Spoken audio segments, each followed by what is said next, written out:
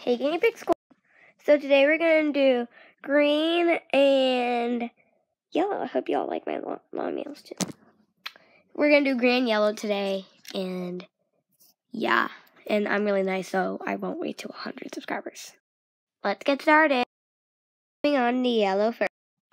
So first I have this little duck mochi, and I like to call them biglets because it's from my friend. Then we have the skinny yellow monkey noodle. Ha- it looks green on here, but we have this glow in the dark um yellow whale poppet. This octopus yellow poppet from Dollar Tree doesn't really pop that well, but okay. This yellow bunny mochi, so cute. Know this looks orange, but trust me, it doesn't in real life. This is a little fox, and it does not look like that. Right there. There's also this little clam, and it's so cute. This textured unicorn monkey noodle, love it. This mini. Yellow pop tube. this fat, fat, fat, yellow monkey noodle. This yellow putty. Yellow mesh and marble or yellow marble mesh.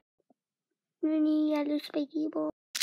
Yellow infinity cube from Learning Express. The best store in the world. Yellow snapper. Another yellow mesh marble or marble mesh. Now for green. There might have to be a part two for this one. Maybe part two. I don't know. Anyways, I have this um, avocado dimple. It's from Top Trends, aka Learning Express, best toy place in the world. This little mini poppet that I got from my cousin's fidget pack. It's so good. It's so tiny. I love it. This green mesh and marble marble mesh. This fat green monkey noodle. This pea popper. I have like two of the other ones. These ones are really easy to pop. Yes. Some people like to call these flippy chains, but I like to call them bite chains. A little dumpling. Well, I like to call it a dumpling or lettuce for my guinea pigs. this fidget pad that I got from my friend. Not, I traded for it. I didn't get it for free. Love it. Then this little um green spiky ball, big version.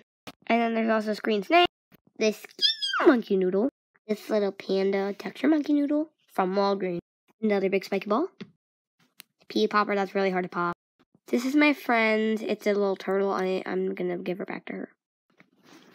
And this other pea popper. Come back for part two. It'll be uploaded right after this one. Love y'all.